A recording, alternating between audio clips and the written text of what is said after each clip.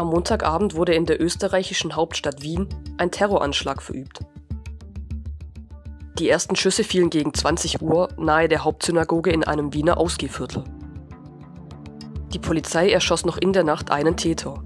Bislang ist unklar, ob weitere Täter an dem Anschlag beteiligt waren. Insgesamt wurden mindestens vier Passanten getötet. Weit mehr als ein Dutzend Menschen wurden verletzt. Laut der Polizei gab es sechs verschiedene Tatorte, darunter die Seitenstättengasse, den Mozinplatz, den Fleischmarkt und den Bauernmarkt. Der Anschlag geht nach den Worten von Österreichs Innenminister Karl Nehammer auf das Konto mindestens eines islamistischen Terroristen.